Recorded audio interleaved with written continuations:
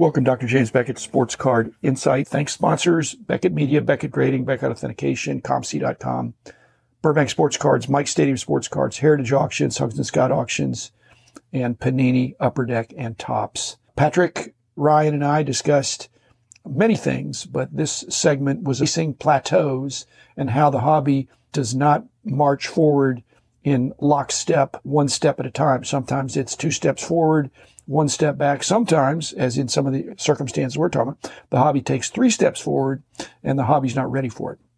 Or the industry, if you prefer. And then there's some lack of initial acceptance, but then sometimes that can be just a great opportunity for those who are believing in these new products right from the start. When everybody says, ah, that's too high, be careful what you say because when you fast forward a few years, sometimes what was so terrific but perceived as overpriced becomes a very scarce, valuable, and beautiful collectible. So Patrick has a great eye. He also, as you've heard, has made this adjustment of still loving new stuff, but understanding that he wants to have balance and be in the old stuff as well. So again, I really enjoyed that perspective of being balanced, of not just vintage and not just brand new, but really having some understanding of both. Again, worth listening to. I would like to listen to it. I enjoyed it. And so I hope you do too. So here's Patrick and uh, our discussion. In the mid 1990s, we saw a lot of innovation around inserts and premium brands. What was your reaction to Topps Finest when it came out into the market? Everything that came out that set a new pricing plateau was met with resistance. And so a lot of people said no, and people couldn't figure out or perhaps even recognize the refractors which is really what drove the product. But not everybody figured that out originally. There were people that would trade in their Griffey refractor for another box, not understanding that's the best thing that's they could right. have gotten out of any box or a bunch of boxes. Then you had the PMGs and things like that. As you get past 95, 96, 97, 98, they were like too rare to price almost. Yeah. We had to do multiples because when somebody got them, they either didn't know what they were or they set them aside. When you look at the pop reports, not very many of them have been graded. Okay, where are they? They're not in unopened product that's sitting in warehouses. They're probably in landfills. Yeah. Destroyed. But some number of them are in collections. But if they really were in collections of savvy people, there'd be a number of them saying, the price is right and the price is ripe.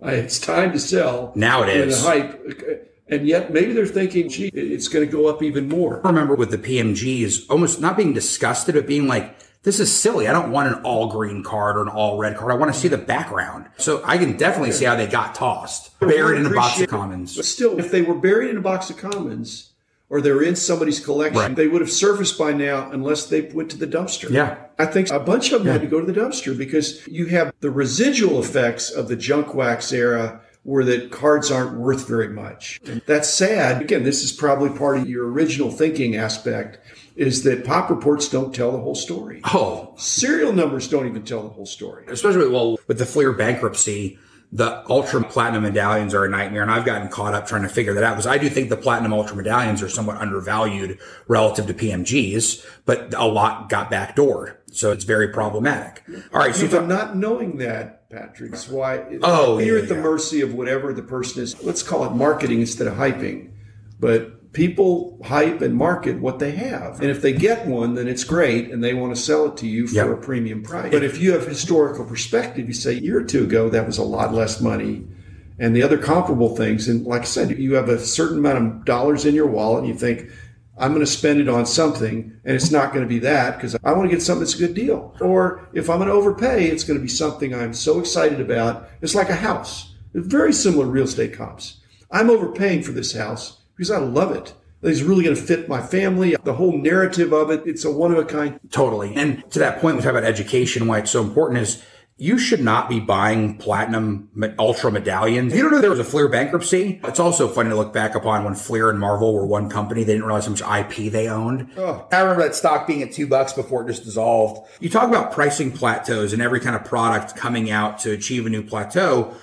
2003 Exquisite was so fascinating is the hobby was in a very sleepy period when that came out.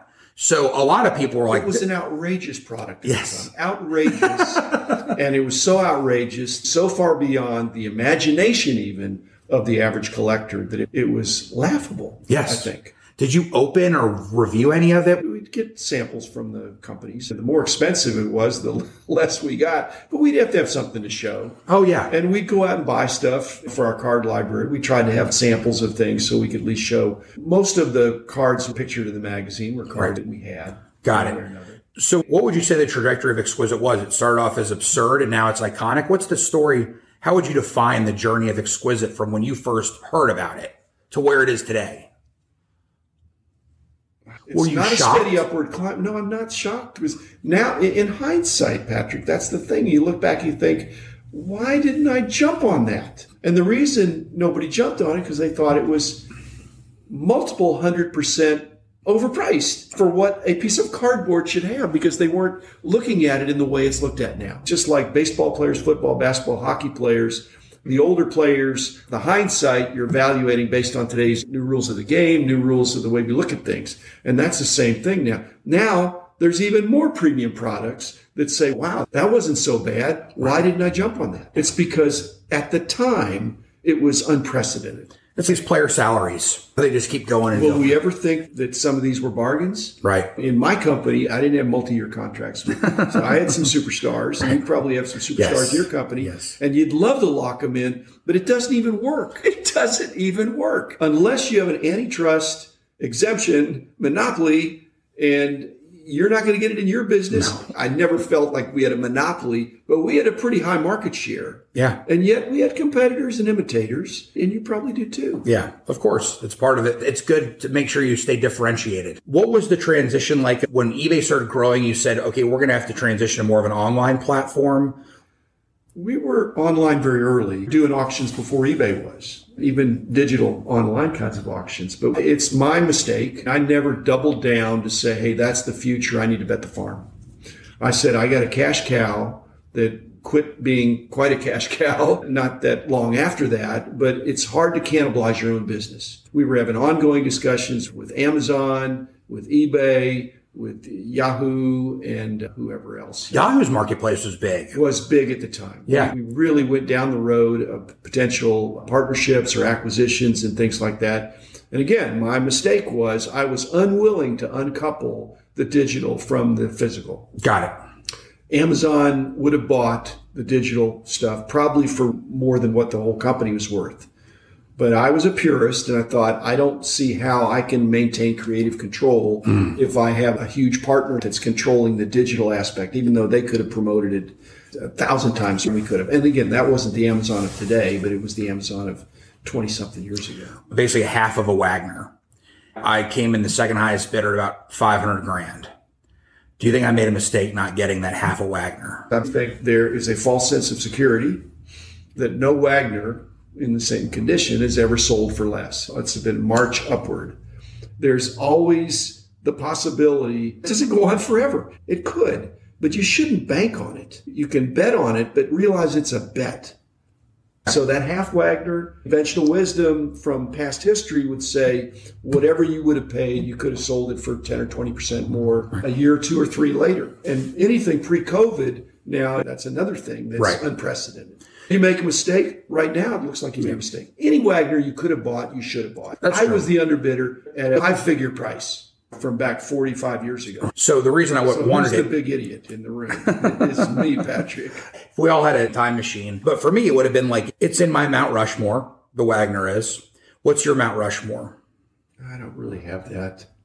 That's why I have a thousand cards. I really think it's my personality from doing all the price guides and the almanacs. It's always about the long tail. I really have an appreciation for the whole hobby. I see that this concentration on only 100 cards, nothing against yeah. you. That's the way most people look at it. Yeah. The hobby is not healthy if every card oh, can't yeah, find yeah, a home. Yeah. So a part of my dollar box at the card shows is to show that all cards can have meaning. You don't Yes. think I'm no good if my best card is a hundred bucks. Yeah. If your best card is a hundred bucks, that's terrific. It doesn't have to be a million dollar card or a hundred thousand dollar card. Well, and also, I think people can have cards where they're like, I just love the photo or I love the colors. You, you, you can build. But it doesn't have to be extreme value. But it it has to have a story. And if the only part of the story is what its value is, that gets a little stale. the Topps Now product, which I like because it's got dates on it. What do you think about Topps? It's a contrived collectible. That's the only problem is Got if it. it's print to demand. And that's an instant collectible instead of something that has stood the test of time or a lot of the collectibles that are most valuable, like you mentioned, sealed video games or VHS, things like that. They're valuable now because they weren't intended. Uh, You you don't Right. expect to see them now in that condition. Topps now, nothing against them, but they're they're for now. Okay, in 20 years, people won't probably throw them away because they intentionally bought them instead of this accidentally stumbled onto something. Yeah. and that's part of the charm of collecting is that there are people that had stuff from their dad and they bring it out, and if it's really in great condition, that's amazing. What I like about Topps Now is the fact that they generally sell for less than their MSRP price or they're at launch price. Like the autos and whatnot, they generally on the secondary market trade below what they launched for. Then there are some exceptions to that. What I find fascinating is that it still has a very die-hard group of collectors around. Now, what I also say is if people PC a player, I think they got to look at some of the Topps Now cards. Absolutely, no, I think that's totally legit. Yeah. And some of the things they've done when it's an unpopular player, a player with no following, at least in the ones where they print to demand, and Right. the, the demand goes way down, and the value can go up because they didn't print very many. But ultimately, every card needs to find a home. And for most cards, that's not an investor. That's somebody that says, I want that player, I want that card, I collect cards from that company or that year. Otherwise, if their hobby moves too far up market into more of these expensive boxes that just have one pack and uh, four cards in it, that have to be four great cards and the potential for something really great. Nothing wrong. That's part of the market. But if that's the focal point of the market, I don't not I don't think sustainable. that's good. We talk about print on demand. It echoes back to the days of eTopps. What did you think about eTopps and did you ever collect any eTopps? I have a few. They'd send us some just to get acquainted with it. But if any of these alternative kinds of distribution methods, I'm more of a purist. I think things ought to be in packs, that there's a randomization element that's fun to open up and see what you get. And some of these other print on demand and Panini Instant, it's a free world. And I admire their creativity. But if it's very successful, that means they sold a lot. Good. Yeah. If it's not successful, they lost money. Is that good? No. So I don't want cards to be everywhere in the fullest sense of capital E everywhere. I want them to be everywhere they need to be. Yeah. Which is more accessible than they were, but not omnipresent like they were 30 years ago. So retail versus hobby. Do you remember when that first started happening, the segmentation of product by retail and hobby? In fact, retail was first. For Topps, there weren't hobby shops. When there were hobby shops, and then there was some distinction of different product configurations, Like jumbos. And all the stuff they do for the different retailers. But, and I think that there's nothing wrong with that. Again, as you've parlayed the knowledge to know not just where the product is distributed, but the configuration or what's in that. To know uh, I've got a better bet of getting something good out of this hobby product than the retail product Yeah. because it's more loaded or it has the chance for certain things. Sometimes it can be the other way around. Yeah. As a purist, I I want the hobby to get the better deal. Yeah, I'm with you. I also think back of Pinnacle, the Skyline set. It was only in one configuration. And Then I think 92, 93 Fleer, maybe the rookie sensations, the first ever rookie sensations are only in one type of configuration. To me, that's The jumbos, sort of- I think. The jumbos, yeah, coincidentally. Yeah, It's not a hard and fast rule, but a lot of those earlier retail only inserts are tougher than you would think. Yeah. Because retail was less saved, less held on to. Once it got in the card shop and got into the knowledgeable card flow, if it was a hobby pack, those are there. Yeah. But Yeah. yeah, some of the retail inserts from the 90s are very tough. Yeah. And fun. And Beyond what their insertion odds would suggest. God.